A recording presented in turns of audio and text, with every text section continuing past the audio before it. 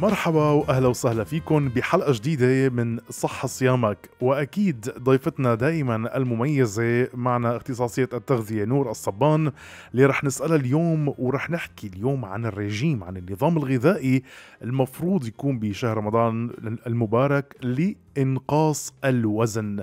وأكيد هو هذا السؤال الشائع. مني وجر مرحبا يا نور. هلا أهلا وسهلا. أهلا وسهلا فيكي. وقبل الحلقة كنا عم نتناقش أنا وياكي وعم بسألك إنه هلأ يا ترى برمضان بينزل وزني شيء ولا لا؟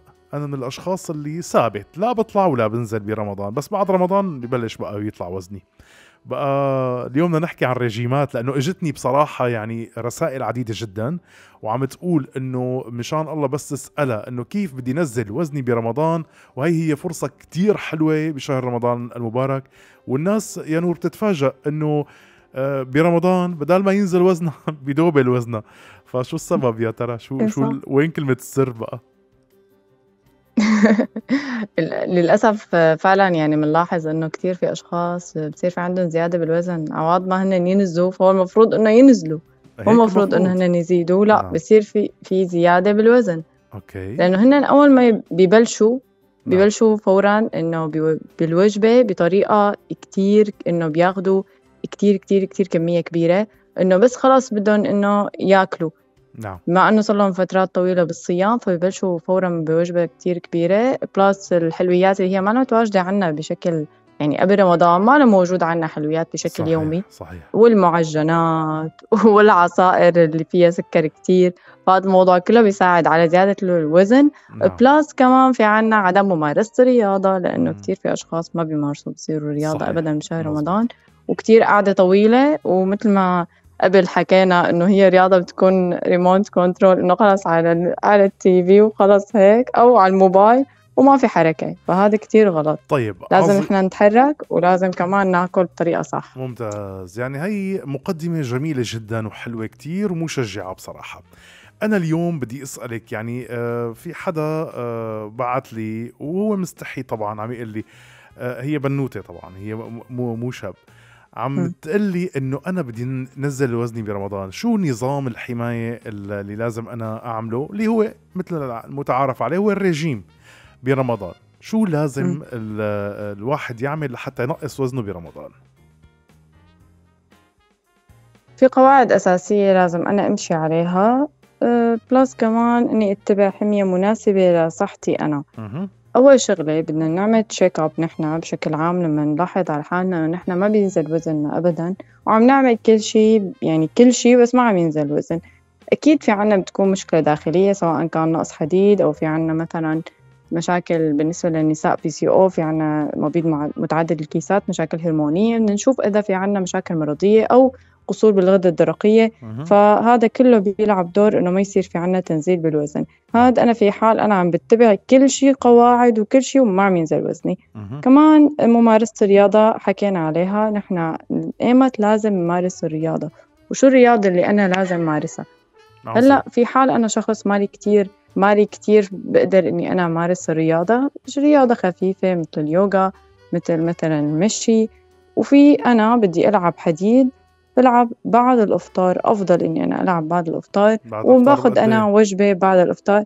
بعد الإفطار تقريبا بساعتين ساعتين. طبعا حتى يهضم ساعتين ساعة ونص ساعتين.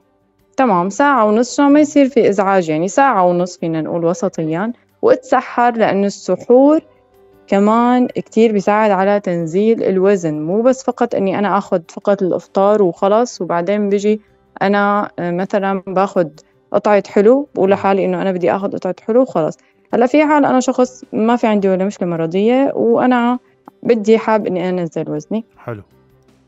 أهم شغلة إنه أنا ما يكون في عندي بوجبة الإفطار كميات كتير كبيرة. يعني ما في عندي لا كميات كتير كبيرة ولا أصناف كتير كبيرة. مالي حاطة عصائر صناعية كتير. يعني يعني وضحي لنا أكثر شوي نور معلش آه، حتى يعني الناس تعرف شو الكميات الكبيرة أو الوجبات الكبيرة شو شو بتقصدي يعني بهذا الموضوع؟ يعني مثلًا أنا بدي أحط خلّيني بس بس فقط على الطبخة الرئيسية شوربات آه، بالإضافة للسلطة، ما أجي مثلًا في عندي اليوم مثلًا طابخة آه، رز بازيلا مع مقبلات اللي هي حتكون بطاطا مقلية وسمبوسك ونحط باستا مثلا وبالإضافة للشوربة والسلطة. أنا إجباري بدي يصير بدي آكل من كل هالأصناف. هذا الموضوع غلط يعني.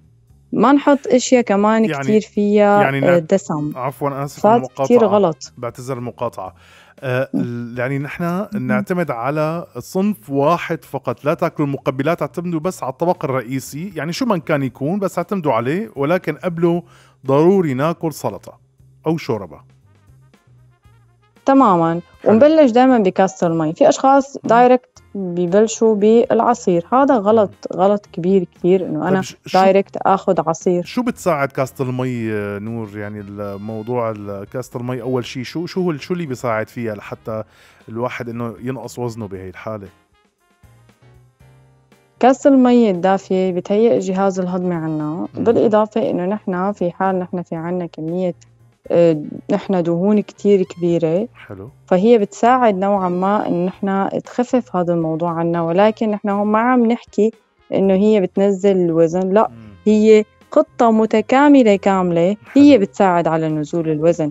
وأفضل بكتير مما بلش أنا بالعصائر لأنه أنا عندي ساعات يعني الصيام كتير طويلة. إجي بلش بشي فيه كتير سكر وأرفع الأنسولين بسرعة. بعد فترة بحس حالي إنه أنا جوعان أه. وبدي آكل أكثر فهذا الموضوع غلط خاصة عنا يعني العصائر اللي مضاف لها السكر هي الفكرة إنه مو طيب. مثلا عصير طبيعي عم آخذ أنا سكر فواكه عادي لا أنا عم آخذ أنا عم بحكي على العصائر اللي أنا بنضيف لها سكر هذا غلط. طيب. العرق سوس التمر هندي ما في عليهم مشكلة. طيب خلينا ولكن نمشي... ما بصير إنه أنا كمان over فيهم يعني. طيب خليني أنا أمشي معك خطوة بخطوة. أول شيء آه، بدنا كاسه المي الدافية. شو ما كان يكون لازم تشربوا أول شيء كاسه مي دافية. ثاني شيء بعد ما تاكلوا الوجبة ممنوع تاكلوا حلويات نهائيا صح؟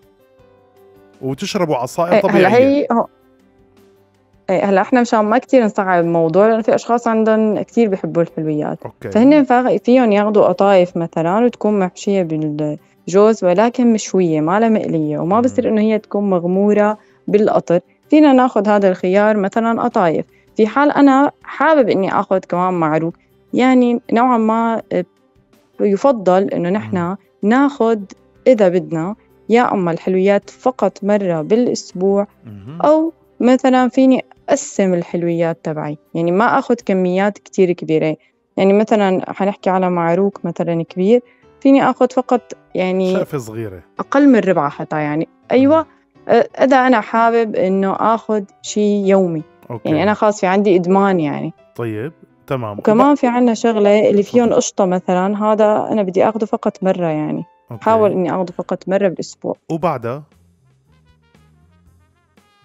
يفضل إنه نحن ناخذ فواكه. حلو. أفضل يعني. فواكه أنا بفضل إنه نحن ناخذ فواكه كسناك بين الفطور وبين السحور خاصة إنه هن ما لهم مطرح أصلا باليومي يعني. أوكي. يعني هن يعني بيومي أنا ما عاد في مكان للفواكه. يفضل إنه أنا آخذ فواكه بين الفطور وبين السحور. أنا بكون عم باخذ ألياف وعم شبع رغبتي بالسكر.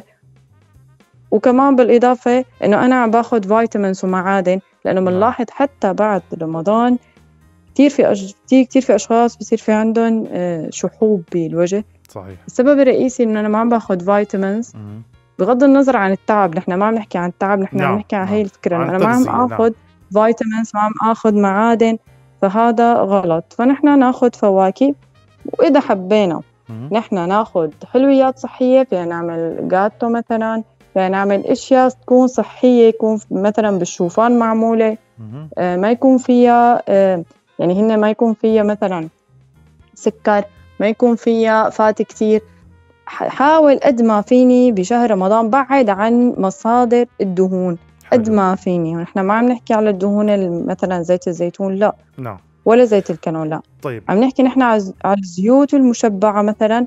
عفوا الدهون المشبعة والزيوت المهدرجة اللي بنقلي فيها مثلا. هلا عفوا. معجنات كمان لازم خفف منها. عفوا زيت الكانولا آه هو مو زيت يعني يعتبر ضار للجسم ولا لا؟ عادي؟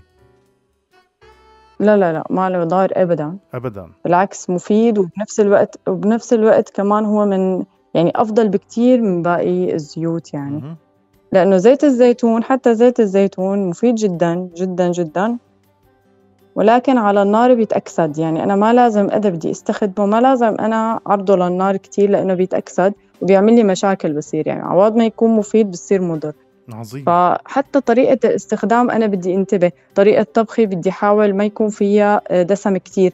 في أشخاص بشكل يومي يعني صدقا أنا يعني أنا آه، بتابعهم بشكل يومي. عندهم المعكرونة عندهم بشكل يومي السكالوب مثلا يكون مقلي. البطاطا المقلية تكون مقلية مثلا إنه هيك يعني إنه كتير بزيت ما تكون مقلية بطريقة صحيحة ما إيه. يكون شوي يعني إنه فيها كمية زيت بسيطة لا بيكون كتير مغمورة. يعني في عندهم أصناف بشكل يومي هي كتير كتير مضرة لأنه بعد رمضان لما بنعمل نحن check up ونعمل تحاليل مثل آه، شحوم ثلاثية أو كوليسترول أو شيء حنلاقيها كلها هي مرتفعة. السبب الرئيسي هو النظام اللي أنا اتبعته بشهر رمضان. ولكن الصوم جدا مفيد لأنه هو تنقية السموم من الجسم وبنفس الوقت نحن بنخفف كمية دهون كتير بجسمنا. إذا نحن عرفنا كيف ننظم أكلنا ونمشي على القواعد اللي عم نحكي عليها. والله نظام غذائي رائع جدا وعلى فكرة كتير بسيط كتير بسيط كتير بسيط كتير بسيط. يعني آه نور الصبان يعني إنسانة أول شيء حنونة كتير معكم. كانت وقديش طيوبة معكم. وعطتكم كل شيء وبتاكلوا كل شيء شو بدكم؟ لكن بكميات كتير قليلة. وعلى فكرة أنتم إذا بتشوفوها لنور يعني بتقولوا يا ريت يا ريتني جسمي مثل جسمها. والله العظيم ما شاء الله عليها يعني. غزيت العين الله يحميكي.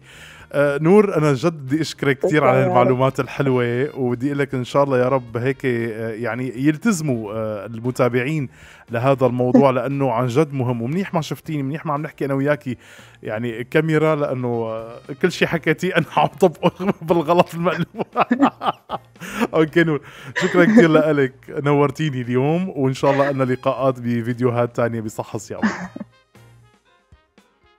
العفو أهلا وسهلا وإن شاء الله هيك كل ما كل ما نحن بنعطي مواضيع أحلى وأكثر أهلا وسهلا فيكي وأكيد متابعينا ومستمعينا أكيد فيكم تجربوا هذا النظام الغذائي وتخبرونا كمان بالتعليقات إذا نجح معكم وأي سؤال حابين تسألوه كمان تركوا لنا بالتعليقات. شكرا كثير لكم إلى اللقاء.